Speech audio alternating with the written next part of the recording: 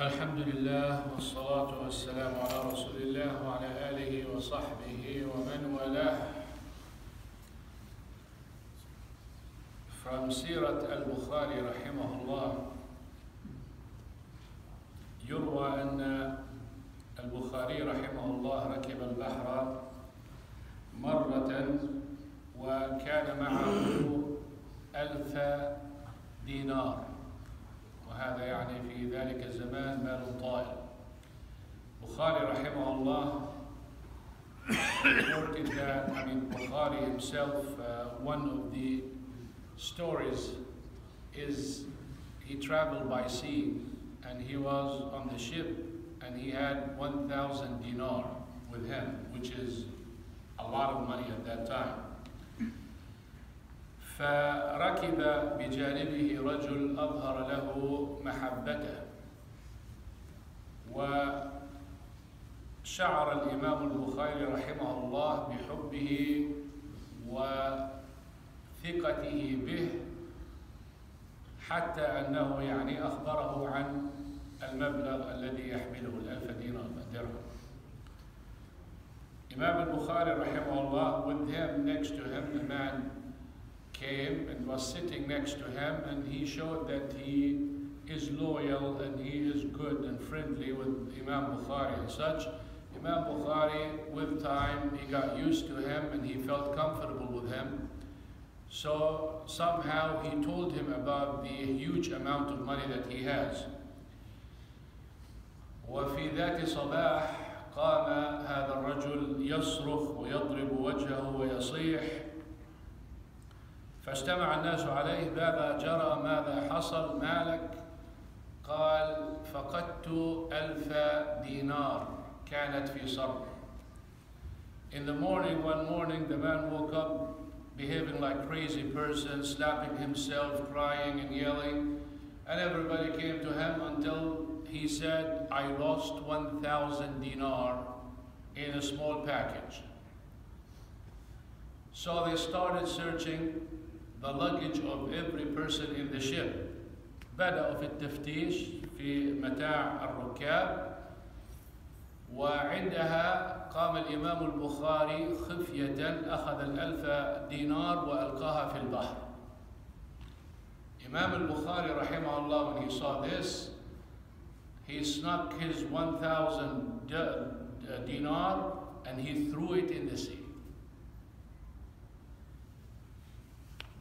They looked, they couldn't find anything. They got so angry at the person, you know, it looks like you're not truthful.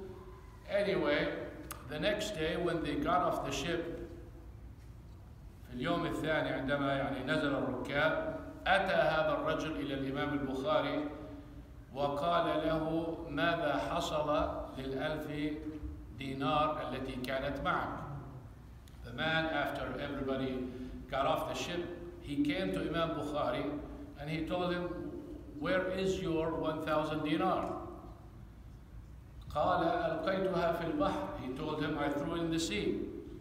قال كيف تلقي هذا المبلغ الطائل في البحر يعني كيف استطعت How could you throw 1,000 dinar in the sea? It's like throwing a million dollar now. قال البخاري رحمه الله قال لقد سرت العالم.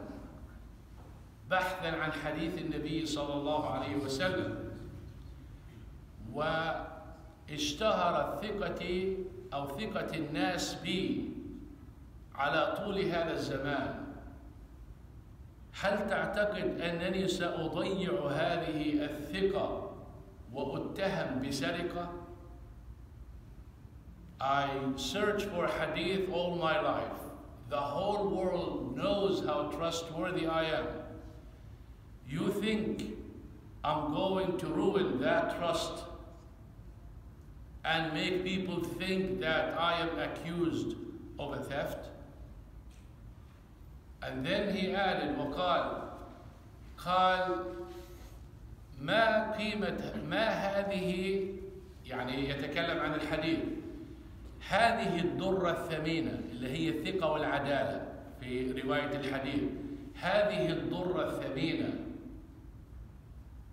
هل تساوي أن أضيعها لدراهم معدودة? Do you think that this wonderful piece of jewel, which is trustworthy and just, to be trustworthy and just, you think I'm going to waste that jewel for just few dirham? I want you to reflect on this story, how important it is to maintain your reputation. Money is nothing. He threw it in the sea. It's not coming back to him.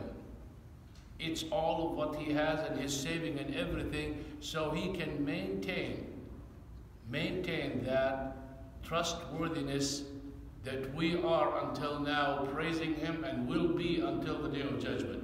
Imagine if that thousand dirham was found in his luggage.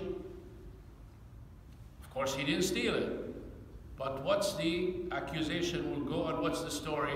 A person lost a thousand dinar, found it with Imam Bukhari. Now try to talk about how good Imam Bukhari is and how good Sahih al-Bukhari is. Would anyone would think of doing that?